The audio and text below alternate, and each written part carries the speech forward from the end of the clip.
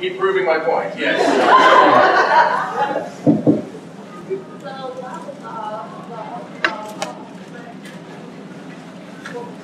I would like to thank whoever left their half-drunk bottle of water up here uh, in your attempt to give me whatever syphilis of the mouth you have. it's not working.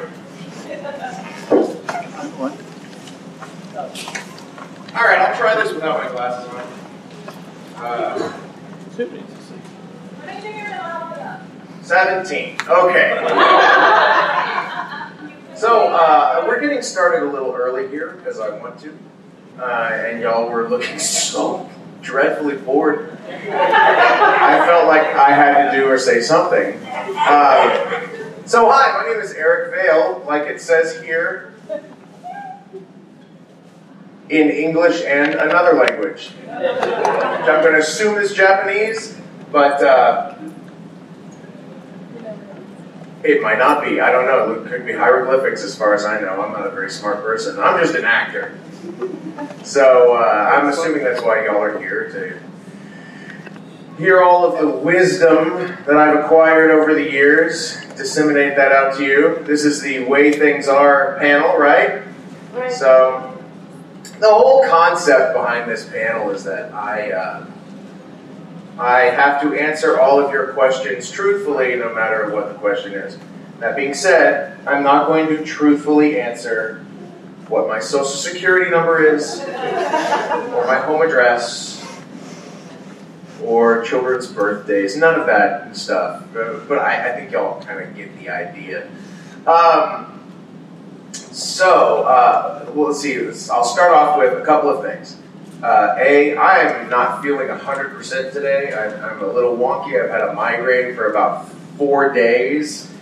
And uh, so my stomach tends to do this, so does my head. So if I get a little wonky and I just sort of cut and run, I apologize. Right now I'm feeling okay. So we'll just truck on until I cut it or it's time, whichever happens first. So yes, my name is Eric Vale. I'm a voice actor. I play uh, characters such as Trunks in Dragon Ball Z in America, Canada, and Hetalia, and others. Sanji, One Piece, and uh, Kimblee, Full Metal, and uh, Yuki and Fruits Baskets, and other stuff. Okay, thanks. So there's a lot of other characters, I won't go into. Now, uh, the other thing I would like to say at the top of this, which is just a Q&A panel, really, is uh, we were all taught growing up that there are no stupid questions. There are absolutely stupid questions. Some of you might ask them, and if you do, I reserve the right to point at you and go, that's a stupid question. so be prepared. Keep in mind, we are here for fun. This is all in fun. No hurt feelings in this room, except for mine. But again, it's my panel, so I can have hurt feelings. All right, uh, so y'all just want to go Q and A from your seats? Sure. Yeah, why not? It's a small enough room. All right, go. Okay, whoever is the loudest, that's who I'm going to hear. So everyone ask their questions at once, and I will hear the loudest question. See, y'all aren't doing it. Now, see, now look at this guy. He's like, yeah, I'm in, I'm in, I'll do that thing. What do you remember from working on Desert Punk? I, what do I remember from working on Desert Punk? It's an interesting question because we work so fast uh, in anime, you don't really retain a whole lot. Uh, Desert Punk was interesting because I was the head writer for the show, and then I got cast to play Desert Punk. So I was writing the show, and for the most part, knowing who was cast in it, me. And it was easy to write for me because I knew what my pacing was.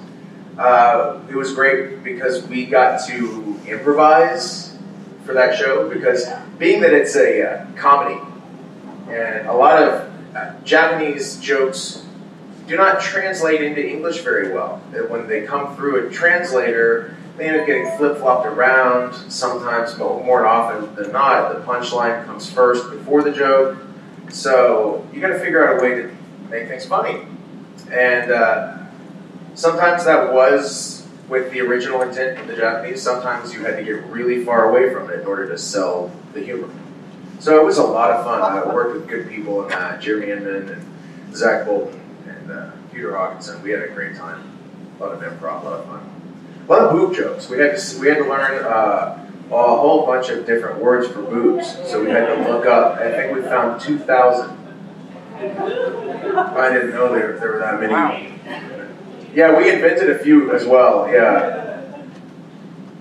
Which I don't know if that's a good or a bad thing. Um, okay, so uh, we've learned today so far that screaming your questions aloud really doesn't work. So we will go hands. All right. So if you if you have a question, you just raise your hand and and I'll and I'll say, uh, here's a good example. Yes. Um, the question I have is, when you're doing a voice acting, um, are you watching the anime? Yeah. I am. I am. So when we voice in anime, uh, depending on where you go, uh, things are run differently. Most studios are run digitally from top to bottom now. That includes a digital script. uh, that includes digital script on one screen, usually to the left, and to the right is the screen with the video on it. So your job as an actor is to you have to sort of flash memorize the pieces or piece of dialogue that you're about to say. And then you get to watch the animation once in the Japanese and then you record it in English. So flash memorize here while you're watching it in Japanese. Then you watch it in English, which is oftentimes there's nothing there, no audio. And then your job is to make this sound normal over here. That's it. It's a really, really, really, really, really, really tedious job. But uh, it, it, it requires a degree of focus that, as an actor, can help you focus in other areas of acting better, in my opinion. Uh, okay, who else?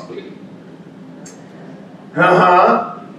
Any voice acting gig you ever regret?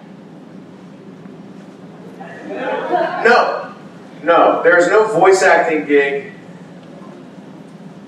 No, there's no voice acting gig I regret. Uh, I, I'm an actor by trade. That is my job. I act wherever anyone hires me. That's the only way as an actor you can make a living. Nobody in the history of the world has made a living as an anime voice actor only. You can do it, but you have to supplement it with other jobs. So I do a tremendous amount of other jobs. I do all the commercials for all the TV and radio commercials for Dave and Buster's. So you hear me on there all the time. And uh, also for the Dallas Stars, the hockey team. Cool. I uh, do all their TV and radio, and also all the in-game videos. So if you're watching, if you're watching Dallas Stars hockey game, if it's a home game, they're going to play one of those videos that talk about the players or the charities or whatever they're doing. That's my voice narrating it, and uh, they play those games in arena in Dallas as well, and then also on the Dallas Stars website. Um, let's and, and there's just tons and tons and tons of other gigs that I do that are like that. Recently, I started doing um, the lead-in, uh, lead-ins and uh, little spots for Fox Sports Southwest. So if you watch, I, probably not over in this region all the time, but if you watch Fox Sports Southwest, you're gonna hear my voice there as well. As far as jobs that I regret, I don't regret anything because everything has paid me money and that's my job. And so at the end of the day, whether it is a completely ridiculous, stupid job, which I'll get to in a second, uh, or something that gives you the crazy respect that anime does, or something that gets you a different type of respect, like like Dave and Buster's. Like just for, for everyone in this room, I said like, "Oh, I'm American, Canada, and Trunks and Sanji and all that stuff at the beginning." And it's like, "Okay, yeah," but I say I'm the voice of Dave and Buster's, and the whole room's like, "Oh, yeah!" Because who doesn't like food, drinks, and video games? Right? I mean, come on. Sure. Um, that being said, I do jobs. Uh, I will not tell you, I will not give you all the information on the thing I'm about to talk about. Because it's not my job to do that. It's if you care enough, you can figure it out at some point.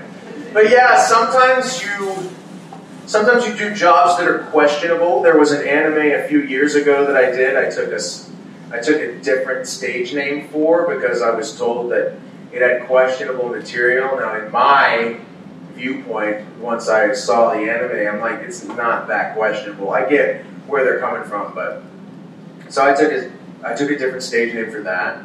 I do read a lot of uh, books, uh, books on uh, like for Audible and stuff. Um, recently, I read one called it's called The Holocaust. It was all about the Holocaust, the history of the Holocaust. I read. I was in the studio for that book every single day for about three weeks, and so you know, every day I, I got to live through these words and perform, so to speak, what it was like to be in the Holocaust. So for three weeks, I was not a very happy person. Uh, but then there are, there's like country music coming from over here. right? Yeah. We'll figure it out in a second. Uh, so, uh, other jobs, so, but other jobs that I do, as far as voiceover goes, and don't ask because I'm not going to answer the question.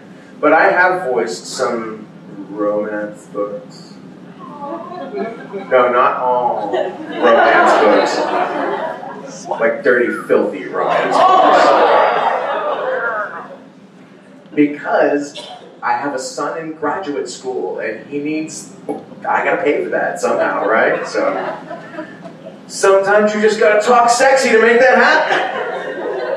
Um, anyway, and I wouldn't say that I'm not proud of that work because the fact that I have read those books, got through them without laughing, is a miracle. Uh, but it's I'm happy to have jobs. I'm happy to have regular jobs. It's interesting. Like when you're an actor and you're working regularly, it, it, that's actually pretty unique. That doesn't happen in the world of acting all that often. So the fact that I'm doing it, yeah, I mean, at the end of the day, my wife and I are just cracking up. You know. This is what my wife said. Um, and this is true for all actors, and everyone will back me up on this. My wife, I, when I ask my job, my wife, can I do something for a job? Say I have to perform in a kissing scene or a sex scene or something like that. What do, what do I do? Do I do it? Yeah, I do it. I'm an actor. It's my job. And my wife always says to me, sweetheart, you're a whore, not a slut. You don't do this stuff for free. So, as long as my wife's happy, I'm happy. Uh, all right, who else has another question? So, um, Fruit Basket is actually one of the very first manga series I got into, and that got me into the anime and manga world. And I know it ended abruptly after book six, but the manga still continues. Do you ever read the rest of the manga and see how your character develop as a person? I did not read the manga. I have not read the manga of any any anime that I've voiced in. Uh, it oftentimes, as an actor, would just add to the confusion because sometimes there's differences. Sometimes the, anime, the the manga is harder to understand than the anime. Anime is a little bit more for uh, mass consumption, you know, whereas manga is a little bit more specialized. Uh, but no, I don't do that. I don't read manga. I don't watch anime. Uh, and you know, a lot of people are like, "How could you not watch anime?" It's, it's real easy. You just don't turn it on. Uh, but the reason is, is because it's it's not it's not out of any kind of disrespect for, for the genre. It's it's that um, you don't. Well, I just equate it back to my life before. You you don't make pizza. I used to work at a pizza joint. When I got cast as Trunks, I was working at a pizza joint. So you don't work at a pizza joint for 40 hours a week, and then on Friday night say, hey, everybody, let's go out for pizza. you don't do that. Go anyplace else. So at the end of every day, I mean, I'm, you know, I can be, uh, God, my agent called me yesterday, and she's like, we need another full day of you at Funimation. Oh my gosh, okay. So I've got at least two full days out there next week, two full days out there the following week, and that's and that's just the Funimation studio for anime. I work, I do anime at another studio in Dallas, Anime Midstream, and, um, then I've got to go into that studio for like three, four hour chunks at a time. And at the end of all that, I don't want to go home and watch anime. I want to go home and watch like Rogue One or something. You know, that's that's that's more my speed. All right, who else? Yeah. What was your favorite um, part about voicing Hetalia? Uh, my favorite part of. Did I turn that off? I did. My favorite part about voicing Hetalia is that voicing that character has given me the ability to behave in public around you people the way that is generally considered unacceptable. See, now if I show up and I'm around people who know, and I'm like, I'm like, hey, I'm just uh, an annoying punk, and I'm gonna say all this annoying crap to you and talk about cheeseburgers and stuff. Losers! Everybody's gonna go, ha, America!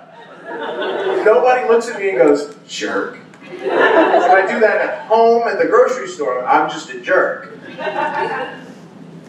So that's been the best part about it. By the way, country music stuff, I think is somebody in the next room. Yeah.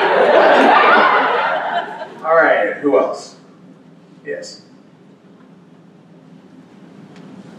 What was your favorite voicing? My favorite voice? Of any person ever on the history of the world?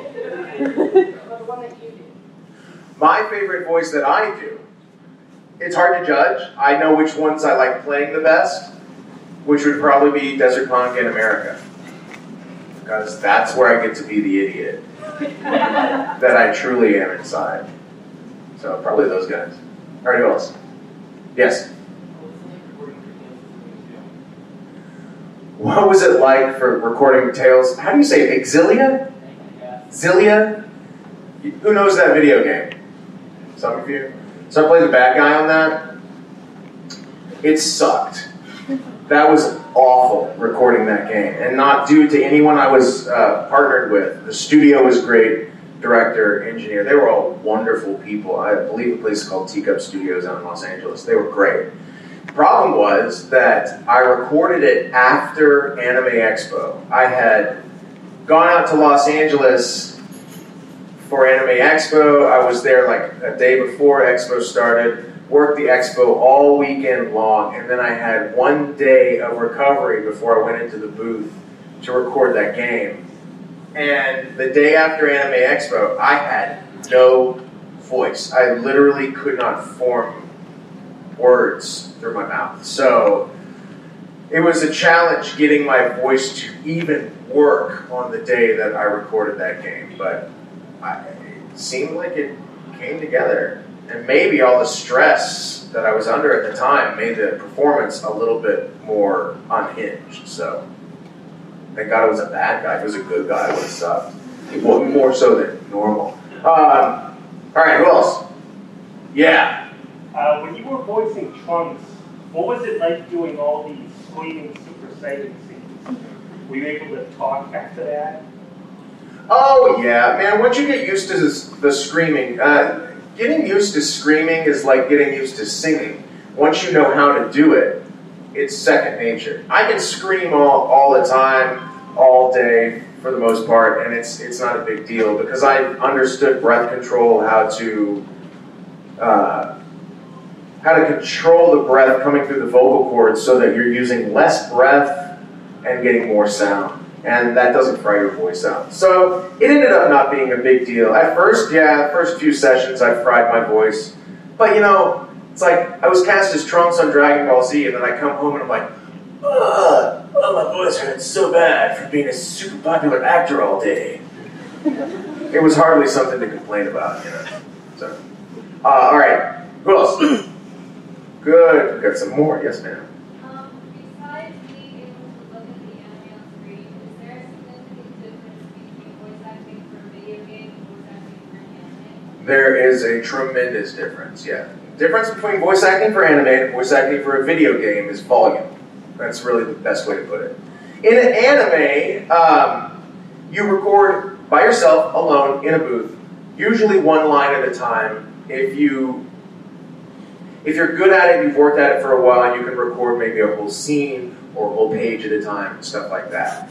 And I've been doing this for 17 years, so I can record an entire page or more of dialogue. But see, what happens is when I record those lines, then the engineer and director have to review it, look at it, fit it, tighten it up, do all their technical stuff, which leaves me for leaves me having some downtime in the booth, right? So sometimes uh, while they do that, I will check an email or really I'll pay a bill or you know read a book. I'm reading The Stand right now for the first time, so it's kind of going everywhere with me because it's so darn long.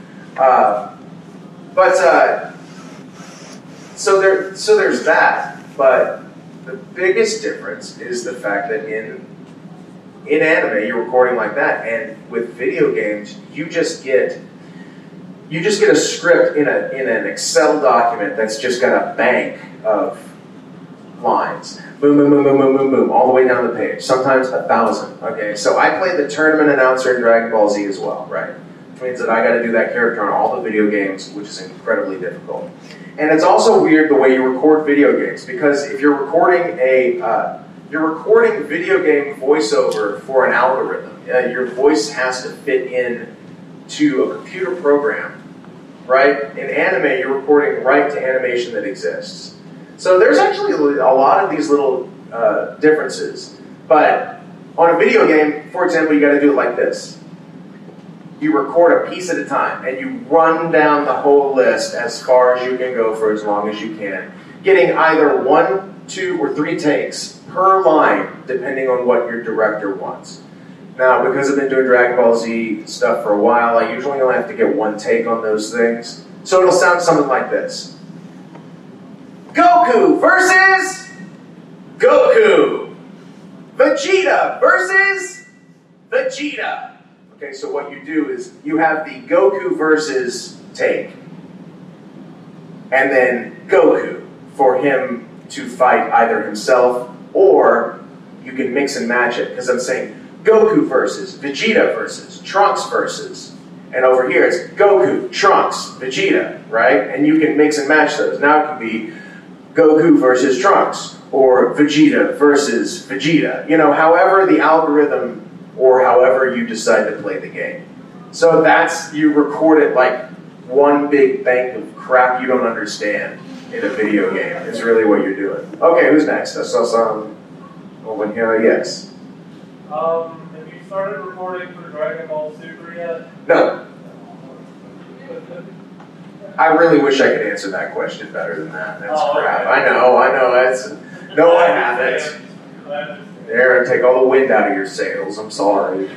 All right, hold on. You, there's another guy back here. You had a question? Yeah. Do you enjoy acting the production side more? Uh, I. Uh, that's difficult. It depends on the thing. For the most part, I prefer writing, and I'm not talking about anime. I'm talking about me writing, because and I've written things like maybe you guys don't know. I've written movies and TV series and shit like that. But I don't.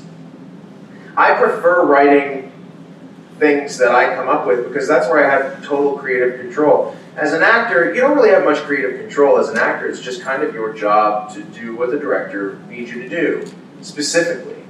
Uh, as a writer, if I'm sitting at home, I'm like I'm writing a new thing right now, and I'm just having so much fun with it. It's a pain because like I'm making all these decisions. I'm like, well, the story needs to be like this. Oh, but what about this? This would be cool. Oh, and this would be cool too. No, Eric, movie can't be four hours long. So that's that's fun. I do tend to enjoy that creative process a little bit more than acting. Uh, but acting will always be my number one love and passion, always. All right, who else? Oh yeah, you had a question. So, how much of a difference is there between voice directing for an anime and voice directing for video games you did voice directing for Borderlands 2? I did, I did. I was voice director for Borderlands 2, and of course, I was the ADR director for a lot of anime. Uh, it's kind of it kind of goes back to what I was saying. You know, it's like directing. There's more required of the director in a video game than in an anime. The reason being, in an anime, you have an entire scene. You can look at the whole scene. The actor can watch the whole scene. And as a director, it is your job to communicate what's happening in the scene, uh, you know, the proximity of this character to those characters around him or her. In a video game, it's a lot less like that. In a video game, uh, a lot of the things that you record, especially in like Borderlands 2, you had two kinds of characters really. You had the fighting characters and then the NPCs, right? Non-playable characters. And those NPCs are hysterical. Most of it is just you have dialogue and it's just you just got to get an actor in the booth to do that uh, to do their thing, you know. So my buddy Jeremy Inman, who played Android 16 in DBZ, and he's an ADR director. I directed him as an NPC in Borderlands 2, and he was uh, he was a drunk guy, and I'm like, just be drunk. You know how to do that well. He said, shut up. And so there's a lot of that going on, you know, and he's and he's like, I, I don't know what else to do to talk about it. I'm, huh? You know, and things like that. Those were takes, and I'd say keep it, and we'd throw it into the program somehow, and I'd tell the gear, uh, Gearbox people just make that work, and they did. And when you hear him walking around the city, it's hysterical. Um, but then you know, then you have the the playable characters or the bad guys, and all they are is just grunts and excerpts and fighting and shooting and whipping and all these activities, right? Which is very challenging for the actor, but as a director, there's just not much for you to do. So you there's there are things that make directing a video game more fun than anime, but then there's things like story uh, in a in a line to line basis in an anime, which makes that more fun to direct. So they each have their benefits. you know. All right, who else? Yes. As multiplayer group, well, people you like voice and stuff, could you could like sorry, could you relate to any of the backstories or anything? Could I relate to any of the backstories of the characters I play? Yeah. No. Uh, and that's where the acting comes in. That's where the training comes in. I, I really can't. I mean, you know, Kimblee's a genocidal maniac, and I've never even killed one person. um, Yuki, no, I have no basis of reference for that guy. Um, Trunks, everybody on Earth was killed. You're all here. I mean, I, you know, so not in anime. In anime, that's the thing. It's an anime is just a form of superhero show. It's it's dynamic characters and dynamic stories. I mean, I know that there are some like Free that are a little bit more based reality and whatnot, but um, that's not what I get cast in. You know, I get cast in bigger, bolder type characters, which is great. They're fun to play, but I, I don't have much of a frame reference. Like I mean, like, look at Sanji. You know, I'm not a pirate. I'm not crazy about being out on the water, but I do love to cook. So he and I have that in common. But he cooks things that, you know, aren't real. So it makes it difficult when you try to do that at home. Uh, all right, who else? Yes. Have you always wanted to be an actor, like, you really? I have. I have always wanted to be an actor. Um, I came from a, uh, a Texas football family, and my dad thought I would be a sports star. So that's all I did for the first 10 years of my life. And then when I was 10, I set him down and I said, I never, ever want to play sports again. I hate it, and please don't make me. And he was like, oh, okay, what do you want to do? And I said, I want to be an actor. And he was like, huh? And uh, for a few years, he just didn't know what to make of me until he saw me in my first play, and then he was like, "Oh yeah, you're way better at this than sports, so you should you should keep doing this." Um, so who else? Yes. A lot of the characters that are Boys Top instruments. Do you play? Uh, I do not play an instrument, but I did play the trombone in middle school. I was always last chair, and I wasn't. I just wasn't very good at it. I'm not very musically inclined. You know, I can carry a tune if I need to. You know, if, if I'm in a musical, I can sing and dance if I need to. But I'm just not. I'm not musically inclined. You know, it'd be nice if I was. I'd love to be able to play the guitar and play the piano, but I don't. I, I never much had the patience to learn. You know. So. All right, who else? Oh, somebody new. Yes, you're in the back. Uh, it's, it's a bit hard for uh, people just starting in the industry you're in. Um, what steps did you take to get started, basically? Well, um, what steps did I do to get started in this industry? Uh, yes. That's the that's the big question. Uh, I didn't I didn't set out to do this. I didn't set out to be a voice actor. I didn't set out to book this kind of role or these kinds of roles to end up here in front of you guys. All I wanted to do, and like you just heard me say, from the time I was 10, all I wanted to do was be an actor. I just wanted to act. I just wanted to perform. And so I did, you know? Uh, damn near everybody in my life growing up told me that I would not succeed. Um, that's the reason most people don't pursue artistic endeavors because the people around them think that it's a pie in the sky dream. Except for the fact that art is everywhere around you constantly. And it is every single artistic endeavor is a viable lifestyle for somebody. Or we wouldn't have, God, I mean, you're not seeing what I'm seeing, but we wouldn't have everything I'm looking at. You know, none of your clothes or sunglasses or shoes were designed by somebody who wasn't artistic. You know, these are all artistic people who did this. So when I was a kid, I, I was like, I can be an actor. I'm going to be an actor. And everyone said no. And all I wanted to do was act. All I, I, so I dedicated myself to it from the age of 10. And I read books and I took classes both in school and out of school. I researched on a near constant basis. I was a theater major once I got to college and, uh, and kept pursuing it, kept taking classes in school and out of school. And I would do plays at my school and at other universities or other theaters, both professional and community. Um, I chased it as hard and as fast as I could until uh, there was some success, which only led to me chasing it more. So it's it's it's hard to do this for a living, but I've never wanted to do anything else, and that's the kind of dedication that it takes in order to do this. Unless you can't think of doing another thing with your life other than being an actor, well, then you can be an actor. You know, there's so many people out there. You know, like my son. My son is also an actor. Okay? Uh, he's in grad school right now, getting his teaching certificate, and that's to supplement his acting until it can take off, which is a smart way to go about it.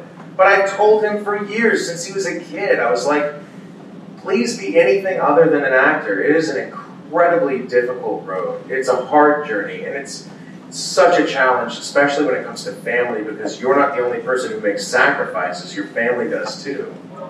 Um, he's so smart. He's my son read the book Dune in a day. That's like a thousand pages, and he'll just zip, zip, zip, retain the whole thing. He's highly intelligent, and yet he wanted to be an actor. And the reason he wanted to be an actor is because, like me, he can't see himself doing anything else. It's a hard thing, man. Is that what you want to do? Um, some, something along the lines, basically, uh, I was thinking maybe get into it. Um, Well, I'm sorry. Now I gotta do this. Okay, I can see you now. Um, how old are you? uh, 19. You're 19. Yes, sir. You uh, are you in college? Uh, just started. Just started. Yes, sir. Just walk over to their theater department. Yes. So it's like this, man. If uh, get on a stage, you can anywhere. You're gonna have a community theater nearby where you can do it, or you got a, a theater at your school where you can do it. If you get on a stage and you perform and it gets its hooks in you, then chase it. Uh, but a lot of people I hear, and I'm not hearing this from you, but I hear from a lot of people, uh, I, don't really want to be on stage. I just want to be a voice actor. Well, that's kind of a recipe for failure. That's like saying, well, I don't want to learn how to cook. I just want to learn how to make spaghetti. Like, okay, you might make okay spaghetti, but you're not going to know how to cook anything else. It's just, it doesn't make a whole lot of sense. So get on a stage. I think you'd be surprised at how much fun it is. You know, and hey, it might change the course of your life. Yeah. Yes, sir. What is up with that? Everyone keeps calling me sir. Not here. You're in the south. No, I live, guys, I live in Dallas.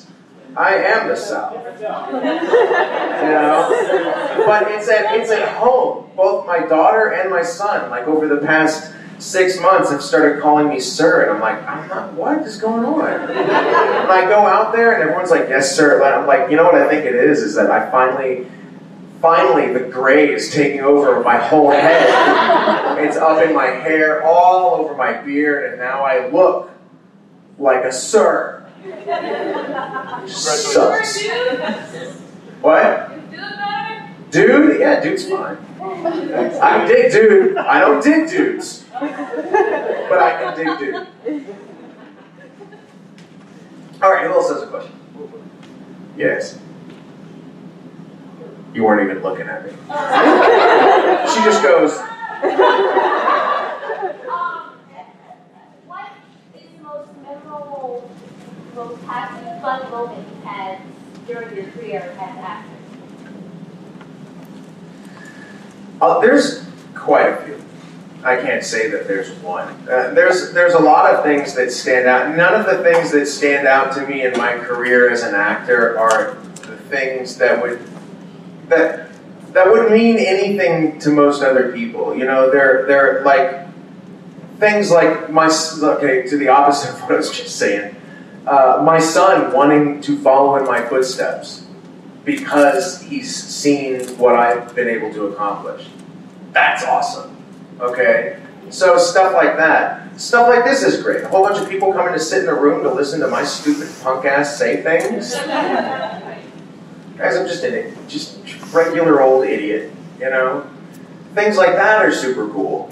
Um, you know, there, there's so, there's so many things that are fun and, and easy to love about what I do. I have people who come out here, like I say, sit here and listen to me. People who like me, people who tell me how much they love what I do, which means so much to me.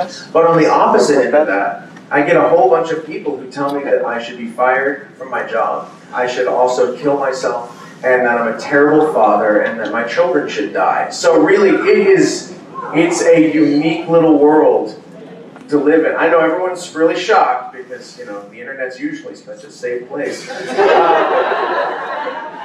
Uh, but that's, that's the extremes, you know? I, I have to sit back and wrap my head around the fact that people are telling me to kill myself because they didn't like the character I played, or they don't like my voice, you know? So that's a lot of fun. But uh, it must mean that I'm affecting people to some degree, or they wouldn't have such a passionate response, right? So I'm not gonna. So I choose to look at it in a positive light. Pollyanna this crap. Um, oh, thanks. My wife is not that happy about that aspect of my personality. Every day, she's like, "Why do you have to Pollyanna everything?" I'm not Pollyanna. I just I prefer to think positively instead of negatively. You know, sometimes I'm negative. but some- anyway. All right, hold on. Is there anything a character has said that stuck with you? Uh, no. Uh, the reason characters, and here's why. Uh, the things, and when you say the things the characters say, you mean the things that I'm saying as a character? Yeah. All right. I didn't know if you meant like uh, things I heard from other characters. Okay. The reason it doesn't, re- I don't retain that information is because oftentimes when I'm in a booth recording a character, I will say a line one time and I'll never hear it again. So I record, move on, record, move on, and the way that uh, the way that as an audience member, you or me in the things that I watch, the way that things really land with you is usually on repeat viewings. So, you know, you can watch something once and it can mean something to you, but it's the second time or the third time that you've watched a certain anime or an episode or show or movie where it really starts to take on that kind of significance, where you start memorizing the lines, you know what I'm saying? Um, it's really hard to do that when you're only saying it once and moving on. All right, who else? Yeah. Um, did any TV series or movie help inspire you for that actor? yep, Indiana Jones and the Temple of Doom. Okay, so in the summer of 1994, 94, oh, 84. In the summer of 84. Uh, actually, 1984 is just a stellar year for movies. If you guys didn't know it, right? 1984, you had uh, Beverly Hills Cop, Ghostbusters, The Karate Kid, Footloose, Indiana Jones and the Temple of Doom, and, and Real Genius, and it just it goes on and on. It's an amazing list of films came out that year. Well, I lived in Beaumont, Texas, where there is there's less to do in Beaumont, Texas than there is to do behind this screen. So, if you're stuck in that boring place for years, you go to the movies, especially because it's Beaumont, Texas. It's further south than Houston. It's kind of on the coast, but not really. It's just enough inland for it to be ridiculously humid year round and blisteringly hot in the summer. So, where do you go? You go where it's cold, inside the movie theater. So I went to the movie theater. Breakin' 2 Electric Boogaloo, Breakin' 2 Electric Boogaloo also 1984. Uh, so I would just go to the movies. I saw Indiana Jones and the Temple of Doom eight times that summer. That's just one movie. And um, I remember when I was watching it, like I always loved Indiana Jones, loved Raiders of the Lost Ark, and I'm watching this second film, thinking how awesome it is, and thinking, man, I want to be an archaeologist. Now keep it in mind, when I'm watching this, I'm 10, right? So I'm thinking, that's what archaeologists do. And I'm not, I'm not 10 years old now. Is there a 10 year old in the room? Who's the youngest person here? How old are you? Yeah. You're 19. How old are you? Yeah. Okay. How old are you with the orange hoodie? 15? And the ne- next year? 15. Okay, let's say the 15 years old. They're the youngest ones, right? You're 12? Yeah. All right, you're the youngest person in the room. Next time I ask that question, you should raise your hand first. Uh, you knew you were the youngest person here. Um, so, you're 12 years old. 12 years old today is vastly different than 12 years old when I was 12. Because you have things like the internet and cell phones, and well, that's enough. um, I didn't have those things when I was 10 years old, so to me, movies and TV and the things that I was watching, they, they carried a little bit more a, weight of reality, you know? So I go and watch Indiana Jones and the Temple of Doom at 10, not knowing much about archaeology, thinking this is what archaeologists do. I hate Nazis. I want to fight them, right? Uh, but it turns out that's not it. And that summer, I went I, to the library and I read about archaeology and what it would take to become one. And I'm like, oh, they spend a lot of time in the library, and it looks pretty boring and not one of them carries a whip. So, oh, how do we get around this? I'm like, oh, why just do what they're doing? They made a movie. That's not real. I can make movies. I can be an actor. And I looked into it and I'm like, that sounds awesome. And then I started doing it, and it felt incredible. And it, I have continued chasing that feeling until today. So, yeah, Indiana Jones and the Temple of Doom really just single handedly changed my life. So, so good. Who has not seen Indiana Jones and the Temple of Doom? like two people, three, four. Y'all are all losers. All of you should just leave now and go watch that movie. So good, you won't be disappointed. Uh, what?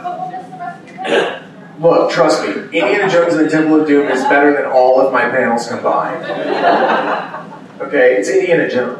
Jeez. All right, who else? Come on, we can't be done. You ask a lot. I okay, you, okay, so you first and then I'll come back to you. Okay, yes, in that. Gotcha. So, um, is it the same way with video games with you? Like, is it ends up, uh, syndrome? You know? And what? Well, you play video games and into them. Oh, I see what you're saying. Like, same thing with anime. Um, video games are easier because I'm not voicing video games for 20 to 40 hours a week. You know? Um, that being said, I can't play the video games that I've worked on. You know, like, I can't play Borderlands 2, mostly because I'm terrible at it. And I've tried real hard. I even got Ian Sinclair to co op with me online to help me beat some levels. And I'm like, I don't know what I'm doing. And he's like, it's obvious. um, but I do like video games, and I, I, I like a handful of them. Uh, and I'm very specific about what I want in a game, and what I want as a ga- in a game is it need for me. It needs to be plug and play. I need to be able to turn it on, play immediately for a short period of time, and walk away with no repercussions. So uh, playing RPGs, uh, you know, that's almost impossible for me. So I play things like Hitman and Battlefield, uh, you know, stuff like that, where, where it's just I can just jump in, run a gun, and go. You know, kill some people, let it, you know, let it off a little bit, and then get back to my regular life. Okay, yes.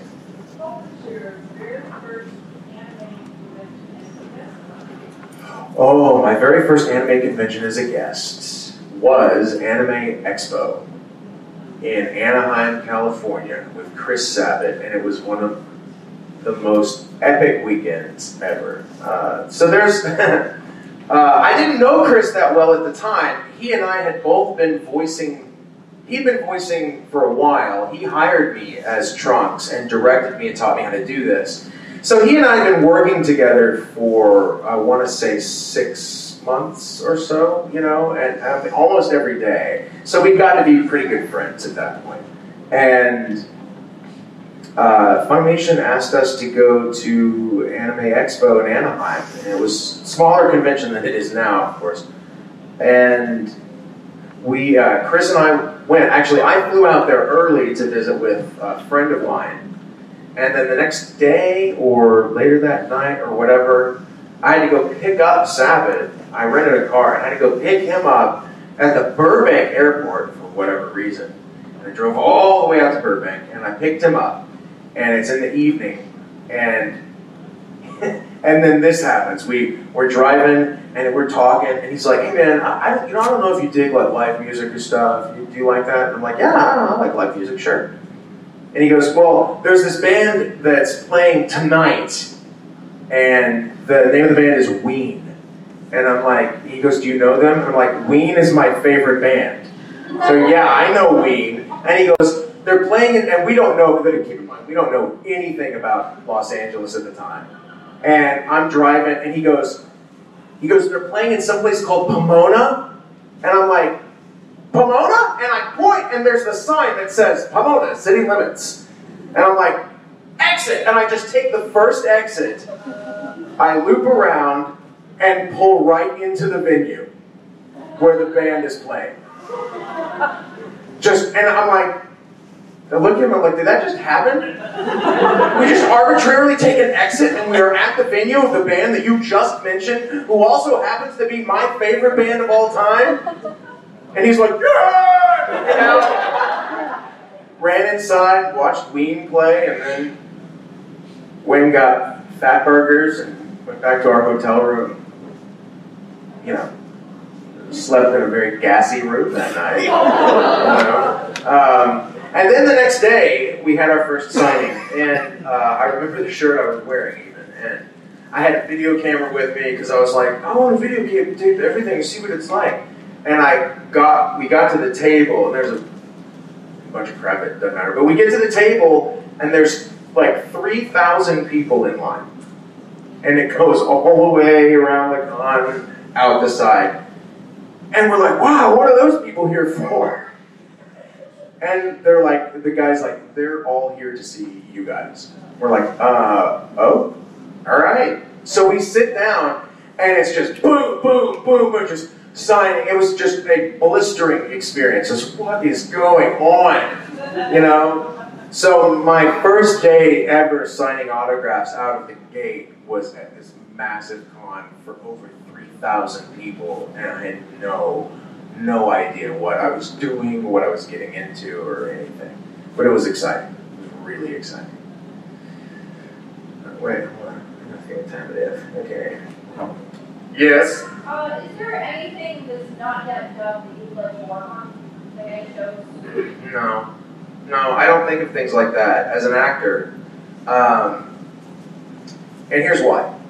If, uh, as an actor, I audition every day for something. And at no point do I ever say to myself, ooh, I really want that gig. I mean, sure, there are gigs that I want more than others. Usually, they're the ones that pay the most. But, uh, and it's not that you work harder for one job than another. But you know, you pay attention to see if you get the big jobs, and you don't worry so much about not getting the small jobs. Uh, but generally speaking, yeah. Um, sorry, I lost my train of thought. Oh, that's something else I did. All the fart sounds uh, at Funimation. I made all the fart noises. I was this proud moment of mine. Two hours of my life was committed to making fart noises in a booth, and I got paid for it. It was amazing. I don't want to brag, but I'm pretty good at farting with my mouth.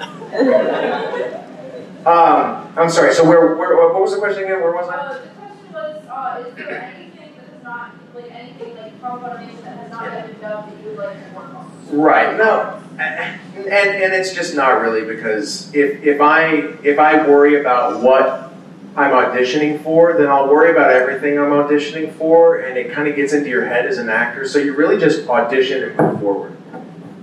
You know, audition, move forward, audition, move forward. And if you book something, great.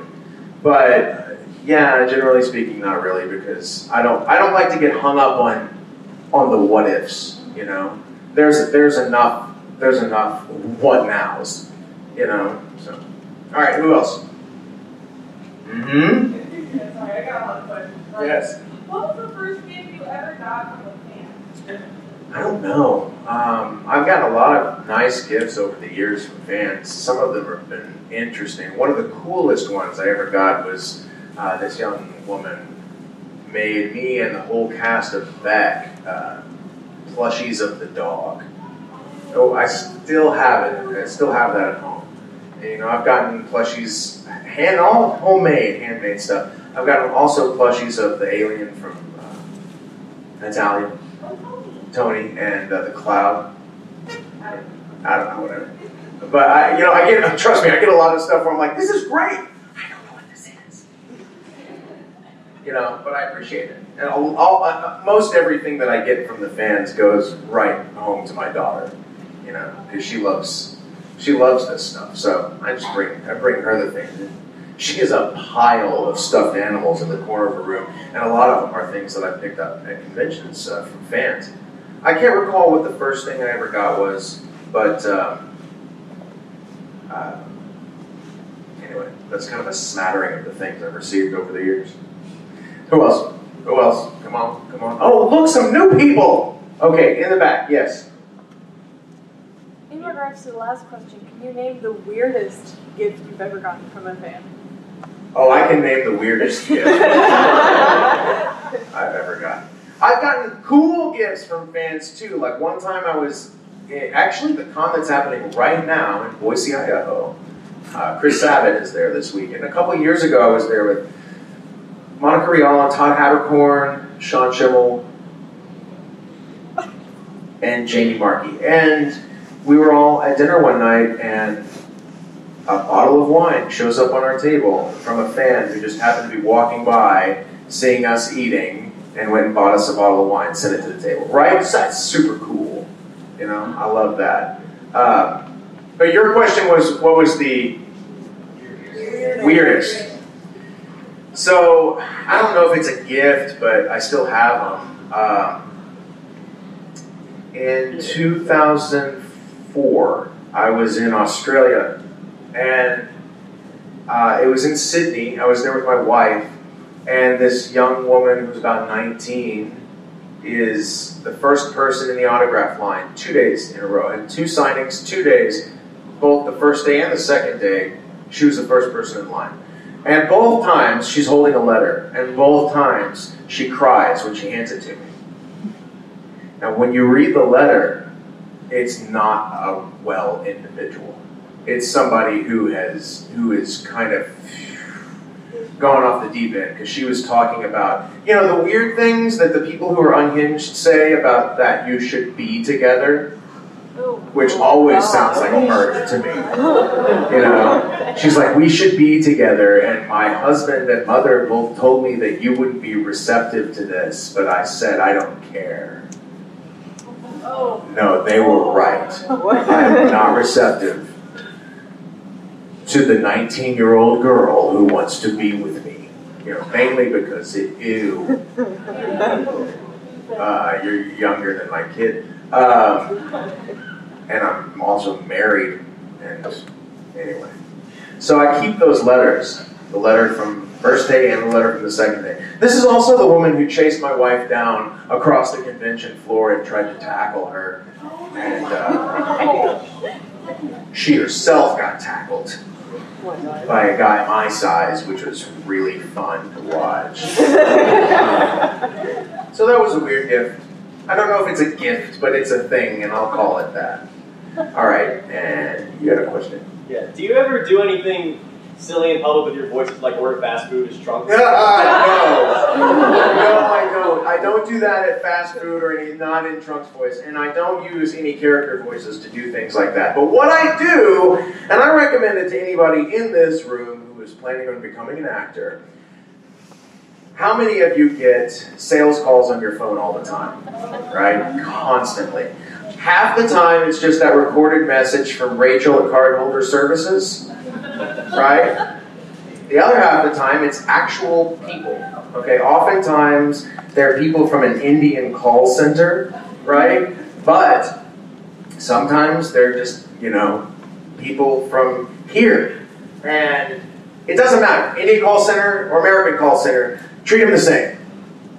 Every single time you answer and there's a person there, it's an acting exercise for me. So I immediately take a character's position, like uh, I'll just who off the top of my head, invent a character, run with it, and I try to keep the person on the phone as long as humanly possible. uh, it's a blast. Uh, I I I, uh, I got into a fierce argument with a guy yesterday uh, because I uh, he, he so I have a business called Five Tonette Productions. That's it's just an incorporation where I can funnel my money. It's it's basically I need a business entity so that the business entity makes the money, and then I can cut myself paychecks from the business entity and take out the proper taxes to go to the government. Right? Standard business. But this business Five Tonette, it's it's my phone number's out there as, a, as I'm like a storefront. So I get these storefront business calls all the time. And this guy's like, yeah, I was just calling to see uh, if I could talk to, uh, you know, the owner of uh, Five Tonette. And I'm like, uh, okay. And he's like, yeah, I was just wondering, uh, you know, who handles all your uh, your insurance at your company there? And I'm like, yeah, you, you got you got the wrong kind of number. And he's like, well, I mean, did you say you could handle this or not? I'm like, uh, you, this isn't a business. And he's like, well, I mean, either you're the person at the business who can answer these questions or you're not. I mean, are you t- telling me that you don't own your own business? And I'm just, listen, MRFer! Why don't you do this to that person and then wrap that thing up and stick it in the so-and-so? And I mean, I just ripped into this guy. And uh, that didn't end well. Uh, but uh, my favorite one happened last week. Hold on. I don't think I can play this for you guys. I don't think. Uh, we've got a 12 year old in the room. Not you! That's the beardiest 12 year old I've ever seen. Uh, I do have a recording of one time when this happened when I was in a booth. I took my phone into the booth with me. For some reason, it was an emergency situation, like I was waiting on a call from my wife or something.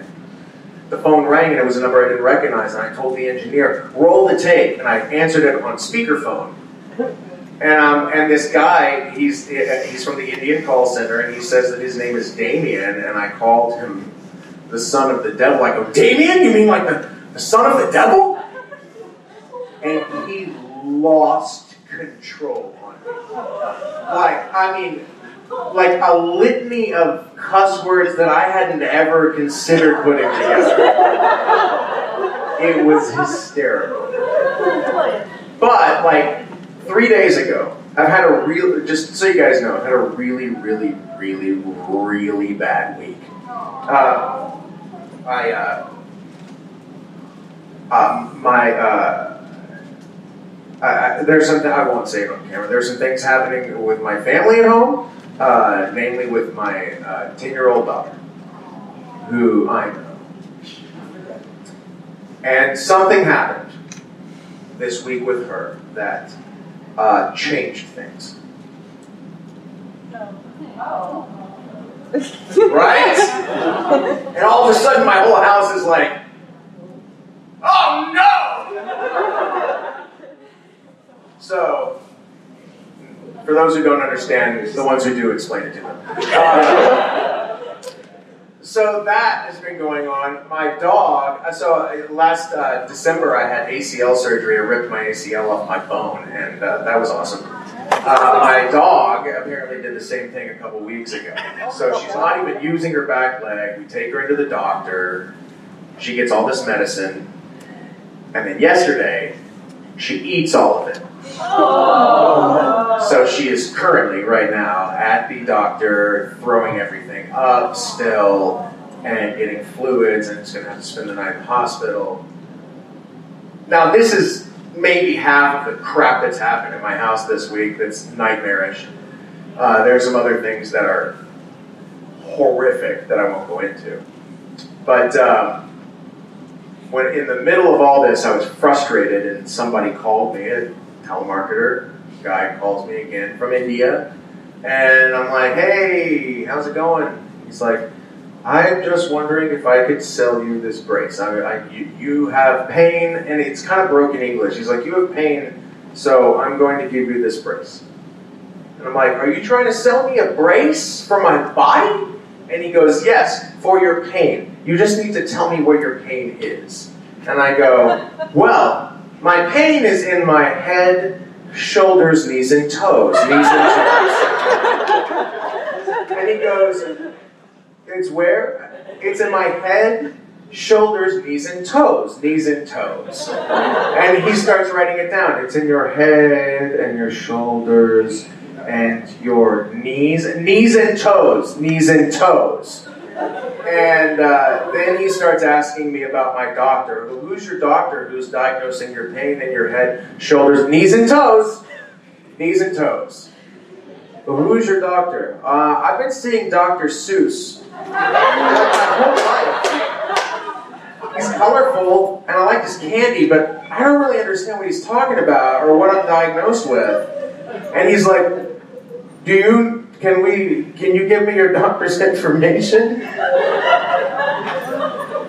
So I started saying, like, "Well, I know he doesn't like green eggs and ham."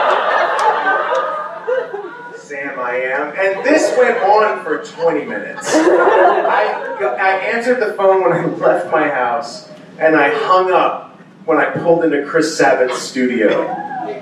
So um, I recommend everybody do that if you have the opportunity and make make those people's lives as difficult as they've been making ours. Uh, okay, so that's my time for right now, guys. I'll be here all weekend. Some have a fun Friday.